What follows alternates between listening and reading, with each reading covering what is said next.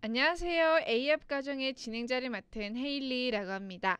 이번 시간에는 수학 시간인데요. Math Step 5, Chapter 5, Lesson 2에서는 Expressing Ratios, Rates and Percentages에 대해서 한번 살펴보도록 하겠습니다.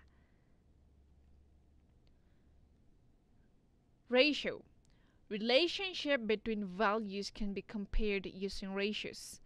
비율을 사용하여 값 사이의 관계를 비교할 수 있습니다.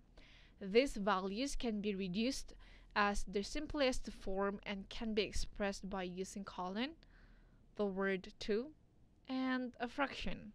이러한 값은 가장 단순한 형태로 이야기할 수 있으며 colon, 단어에서 to, 그리고 및 분수를 사용하여 표시할 수 있습니다.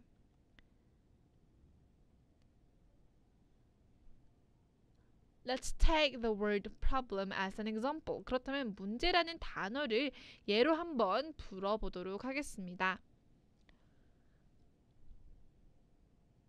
Thor went to the store to buy some snacks and drinks for his birthday party tomorrow. 토르는 내일 생일 파티를 위해 과자, 음료수를 사러 가게에 갔습니다. He bought 20 bottles of juice and 10 bottles of soda. 그렇다면 그는 주스 20병과 탄산음료 10병을 샀다고 합니다. Write the ratio of the given data. 그렇다면 주어진 데이터의 비율을 한번 기록해 보겠습니다. The ratio of the number of juice bottles to the number of soda is 주스병과 소다수의 비율은 다음과 같습니다. Step 2. 2단계는 Identify the greatest common factor, which is called GCF. 가장 큰 공통 요소 또는 GCF를 식별해야 합니다. The greatest common factor is the largest number that is both present in the given values. 큰 공통 요소는 주어진 값에 존재하는 가장 큰 숫자를 의미합니다. Step 3. 3단계 divide the values by the identified greatest common factor. 식별된 최대 공통 숫자로 값을 나눠야 합니다. Step 4. 4단계 Write the ratio in its simplest form and then interpret it. 비율을 가장 간단한 형식으로 작성한 다음 해석을 해야 합니다. So the interpret So the interpretation is 해석은 다음과 같습니다. The ratio of juice bottles to soda is 2 to 1 or 2 1 1. This implies that for every two bottles of juice, there is one bottle of soda.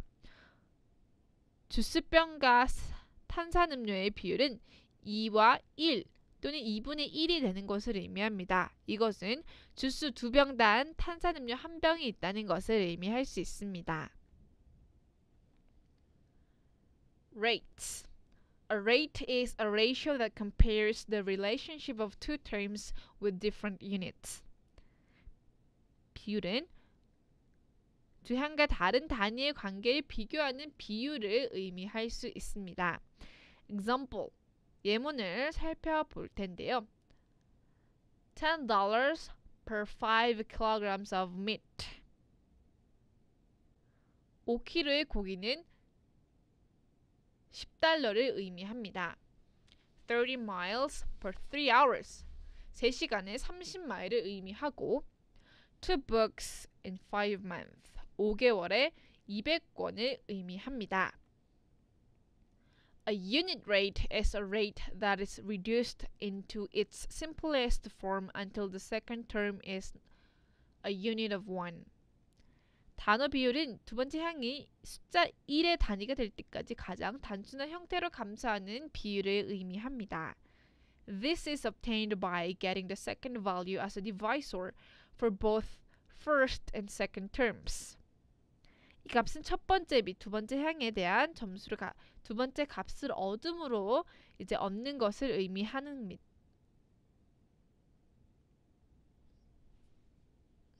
This obtained by getting the second value as a divisor for both first and second terms.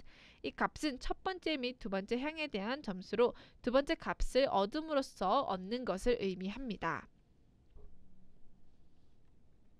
Percentages A percent is a type of ratio where the second value is 100.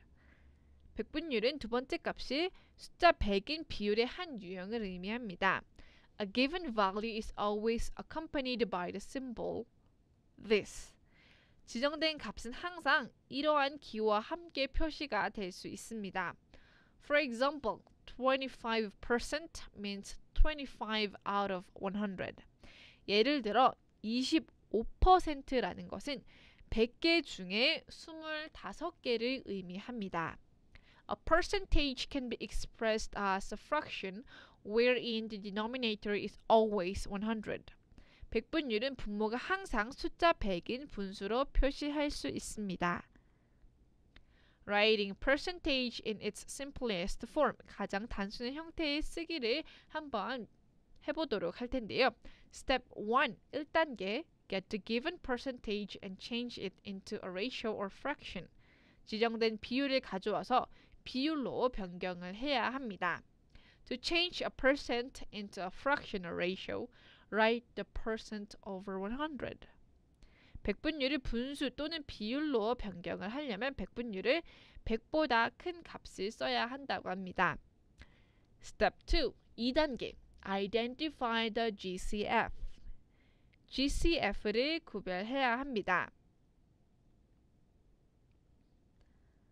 Step 3. Divide both values by the GCF.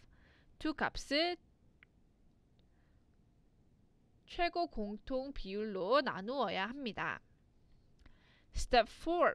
Write the percent as fraction in its simplest form. 백분율을 가장 간단한 형식으로 작성해야 합니다. 이해하셨나요? 이해하셨다면 examples 예문을 한번 살펴보도록 하겠습니다. Write the following word forms into ratios. 단어 문제를 비율로 한번 살펴보도록 하겠습니다. Write the ratio 130 to 10 in its simplest form. 130대 10을 가장 단순화해서 한번 적어보도록 할 텐데요. 간단한 답은 13대 1을 의미합니다. What is the unit rate of 35 kilograms for 5 months? 그렇다면 5개월에 35kg이 있다고 하는데요. 그것은 어떻게 간단하게 이야기할 수 있을까요? So the answer is 정답은 the unit rate of 35 kilograms for 5 months is 7 kilograms per month. 5개월에 35kg는 간단하게 이야기를 하면 한 달에 7g을 7kg을 의미합니다. 이해하셨나요? 이해하셨다면 Math Lesson 2를 마치겠고 다음 시간에 봬요.